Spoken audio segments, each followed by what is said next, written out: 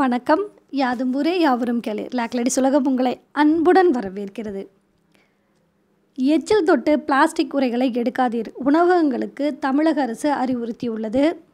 உணவு பார்சல் சேவையில் பிளாஸ்டிக் உரைகளை பயன்படுத்துவது தவிர்க்க முடியாதாக உள்ளது. மளிகை கடைகள் இறைச்சி மீன் கடைகள் கட்டுப்பாடுகளுடன் செயல்பட அனுமதிக்கப்பட்ட நிலையில் அந்த கடைகளில் பிளாஸ்டிக் உரைகளின் பயன்பாடு மிகையாக உள்ளது. உரைகளை எடுக்கும்போது கடை ஊழியர்கள் எச்சில் தொட்டு அந்த உரைகளை எடுப்பது பொருட்களை உள்ளே போடுவதற்கு வாயால் ஊதுவது போன்ற செயல்பாடுகளில் ஈடுபடுவது கரோனா தொற்றுக்கு பரவலாக வழிவகுக்கும் அதை தவிர்க்க உரிய நடவடிக்கை எடுக்க வேண்டும் என்றும் அவர்கள் கூறியுள்ளனர். தமிழகத்தில் எழுபது சதவீதம் பேருக்கு புதிய டெல்டா கரோனா தொற்று பரவி வருவதாக உலக சுகாதார நிறுவனம் இதனை வகைப்படுத்தியுள்ளது. மாவட்டங்களை மூன்று வகையாக பிரித்து கூடுதல் தளர்வுகள் அறிவிப்பு. ஜூன் இருபத்தெட்டு வரை முழு ஊரடங்கு நீட்டிப்பு. சென்னை உள்ளிட்ட நாலு மாவட்டங்களில் இன்று பேருந்துகள் இயக்கம். முதல்வர் மு க ஸ்டாலின் அவர்கள் உத்தரவு பிறப்பித்துள்ளார். இந்த ஆண்டில் இருக்கிறதா இல்லையா? நீட் தேர்வு குறித்து தற்போது உறுதியாக முடிவு எதுவும் எட்டப்படவில்லை என்று சுகாதாரத்துறை அமைச்சர் மா. சுப்பிரமணியன் அவர் தகவல் வெளியிட்டுள்ளார். மாநிலங்களுக்கு இலவசமாக கரோனா தடுப்பூசி மத்திய அரசின் புதிய நடைமுறைகள் அமலுக்கு வருகிறது. காலை ஆறு முப்பது முதல் இரவு ஒன்பது மணி வரை சென்னையில் மெட்ரோ ரயில் சேவை இன்று முதல் இயக்கப்படும் என்று ரயில்வே வட்டாரங்கள் தகவல் வெளியிட்டு வருகின்றன.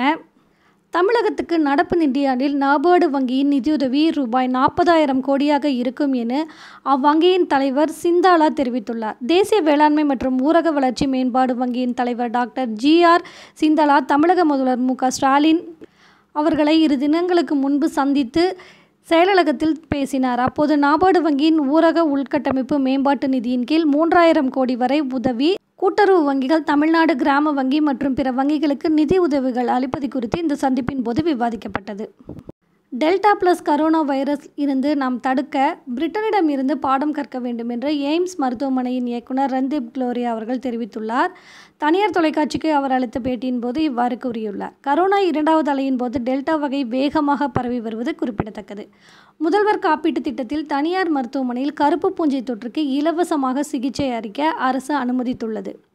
உத்தரப்பிரதேசத்தின் மாவட்டங்களுக்கு ஏற்றபடி அரசு கட்டிடங்களுக்கு ஒரே வர்ணம் பூசும் திட்டத்திற்கு முதல்வர் யோகி ஆதித்யநாத் அனுமதி அளித்துள்ளார். கடந்த ஆயிரத்தி எட்நூற்றி எழுபத்தி ஆறில் ராஜஸ்தானின் ஜெய்ப்பூருக்கு வந்த விக்டோரியா அரசை வரவேற்க அதன் கட்டிடங்களுக்கு ரோஸ் வர்ணம் பூசப்பட்டிருந்தது. அப்போது முதல் சர்வதேச அளவில் ஜெய்ப்பூர் பிங்க் சிட்டி என்ற பெயரில் புகழடைந்தது. இந்த வகையில் பாஜக ஆளும் ஊபியிலும் புதிய மாற்றம் கொண்டு வரப்பட உள்ளது. இதற்கான அனுமதியை அம்மாநில முதல்வர் யோகி ஆதித்யநாத் நேற்று அளித்திருப்பதாக தெரிகிறது. ஈரான் அதிபர் தேர்தலில் இப்ராஹிம் ரைசி வெற்றி பெற்றுள்ளார். அதற்கு நமது பிரதமர் நரேந்திர மோடி அவர்கள் வாழ்த்து தெரிவித்துள்ளார்.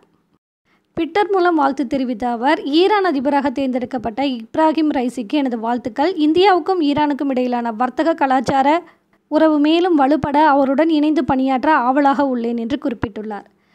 இந்திய விமானப்படையின் முப்பத்தி ஆறு ரஃபேல் போர் விமானங்கள் அடுத்த ஆண்டுக்குள் இணைக்கப்படும் என்று விமானப்படையின் தலைமை தளபதி ஆர்கேஎஸ் பதௌரியா தெரிவித்துள்ளார். முப்பத்தி ஆறு ரஃபேல் போர் விமானங்கள் ரூபாய் ஐம்பத்தி ஒன்பதாயிரம் கோடியில் வாங்குவதற்கு பிரான்ஸ் அரசுடன் கடந்த இரண்டாயிரத்தி பதினாறாம் ஆண்டு ஒப்பந்தம் மேற்கொள்ளப்பட்டது. தெலுங்கானா தலைநகர் ஹைதராபாத்தில் உள்ள விமானப்படை அகாடமி பயிற்சியில் முடித்த வீரர்களின் அனுபவிப்பை ஏற்ற அவர் இவ்வாறு குறிப்பிட்டுள்ளார். இதுவரை இருபத்தி ஒரு போர் விமானங்கள் இந்தியாவுக்கு வந்தடைந்துள்ளது. குறிப்பிடத்தக்க நிகழ்வாக பார்க்கலாம். நான்கு சிறப்பு ரயில்களின் சேவை மீண்டும் தொடங்கப்பட உள்ளது. கரோனா பாதிப்புக்கு முன் இந்தியாவில் சராசரியாக ஒரு நாளைக்கு ஆயிரத்தி எழுநூற்றி அறுபத்தெட்டு ரயில்கள் இயக்கப்பட்டு வந்ததாக இந்திய ரயில்வே கூறியிருந்தது. அதன் பிறகு பாதிப்பு மற்றும் ஊரடங்கு காரணமாக சேவைகள் நிறுத்தப்பட்டன. தற்போது பாதிப்பு குறைந்து வரும் நிலையில் கூடுதலாக ஆறுநூற்றி அறுபது ரயில்களை இயக்க ரயில்வே ஒப்புதல் அளித்துள்ளது.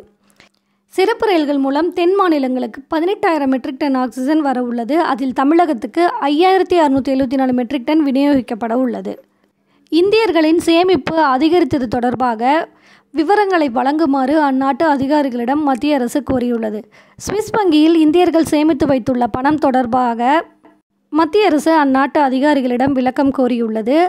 அண்மையில் இந்தியர்கள் சேமித்து வைத்த பணம் குறித்து வெளியிட்ட செய்தியில் இந்தியர்கள் சேமித்து வைத்துள்ள தொகை இருபதாயிரத்தி எழுநூறு கோடியாக அதிகரிப்பதாக அவர்கள் கூறியுள்ளனர்.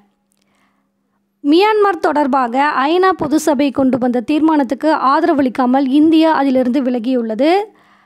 ஜனநாயக வழிமுறைகளை வலுப்படுத்தும் கூட்டு முயற்சிக்கு இத்தீர்மானம் உதவுவதாக இந்தியாவுக்கு நம்பிக்கை இல்லை என்று தெரிவிக்கப்பட்டுள்ளது.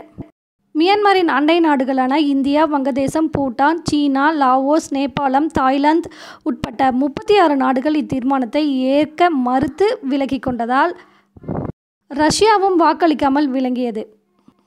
பெலாரஸ் மட்டுமே இத்தீர்மானத்திற்கு எதிராக வாக்களித்துள்ள ஒரே நாடாகும். இது தொடர்பாக ஐநாவுக்கு இந்திய தூதர் டி எஸ் திருமூர்த்தி அவர்கள் கூறியது மியான்மரில் நிலவும் அரசியல் நிலையற்ற தன்மை குறித்து அதன் அண்டை நாடான இந்தியாவுக்கு பிறரை விட கல கவலைகள் அதிகம் என்றும் அதை சரிப்படுத்த இந்தியாவுக்கும் பல முயற்சிகள் மேற்கொண்டுள்ளது என்றும் தெரிவித்துள்ளார். இரு மாதங்களில் உருவாகும் கரோனா மூன்றாவது அலையை தவிர்க்க முடியாது என்று எய்ம்ஸ் தலைவர் தகவல் கூறியுள்ளார். அதேபோல அடுத்த ஆறு முதல் எட்டு வாரங்களில் மூன்றாம் அலை தாக்கக்கூடும் என்றும் அவர் எச்சரிக்கையும் விடுத்துள்ளார். சென்னை அண்ணா நூற்றாண்டு நூலகத்தில் அரசு மற்றும் அரசு உதவி பெறும் பள்ளிகளில் பயிலும் மாணவ மாணவியர்களுக்கு பாடநூல்களை முதல்வர் மு ஸ்டாலின் அவர்கள் வழங்கியுள்ளார். கல்வி தொலைக்காட்சியில் புதிய பாடங்கள் தொடங்கப்படும் என்றும் பாடநூல்கள் விநியோகிக்கப்படும் என்றும் முதல்வர் தெரிவித்துள்ளார். நாட்டின் அந்நிய செலாவணி கையிருப்பு அறுபதாயிரத்தி எட்நூற்றி எட்டு கோடி டாலர். வரலாற்றில் புதிய உச்சம் பெற்றுள்ளது.